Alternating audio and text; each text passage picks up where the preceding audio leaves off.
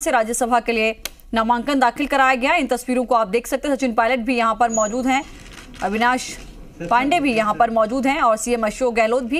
ये लाइव तस्वीरें इस वक्त आप देख रहे हैं। राज्यसभा चुनाव के लिए नामांकन दाखिल करने के लिए यहाँ पर पहुँचे हुए हैं पूर्व प्रधानमंत्री मनमोहन सिंह। कांग्रेस पार्टी की ओर से नामांकन दाखिल किया गया है, क्योंकि आपको बता दें कि राजस्थान से मदन लाल सैनी, जो कि राज्यसभा के सांसद थे, सदस्य थे, उनके निधन के बाद ये सीट जो है यहाँ पर खाली हुई, जिसके बाद ये कयास लगाए जा रहे थे मीडिया से मुखातिब हो रहे मनमोहन सिंह क्या कुछ कह रहे हैं Congress party in Rajasthan chief minister Shri Ashok Gehlot Shri Sachin Pilot deputy chief minister and all members of the Congress parliamentary party for nominating me to this vacant seat in the council of states At the same time, I recognize that there are sad circumstances in which the vacancy has arisen, and I convey my heartfelt condolences to the members of the Sani family.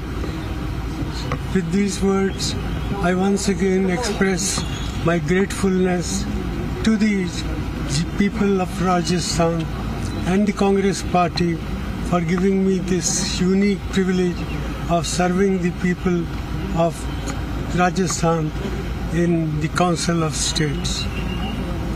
Sir, it is the first time when an ex-prime minister is going to be uh, the member of uh, Rajya Sabha from Rajasthan, and uh, there from since last long time uh, Rajasthan has demanding for special status. Well, I will do my very best to stay dear to the f- interests of these people of Rajasthan, to do whatever is possible, humanly possible, to promote the cause of the people of Rajasthan.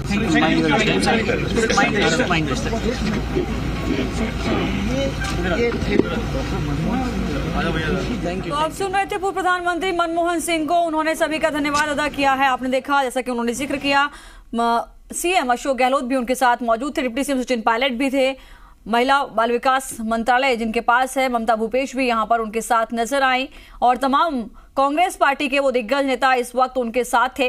इन तस्वीरों को आप देख सकते हैं। नामांकन दाखिल कर दिया है मनमोहन सिंह ने। हालाँकि, देखिए, अगर आंकड़ों पर नज़र डालें